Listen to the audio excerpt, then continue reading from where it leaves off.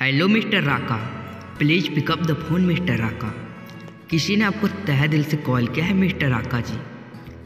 कृपया करके अपना कॉल रिसीव कीजिए।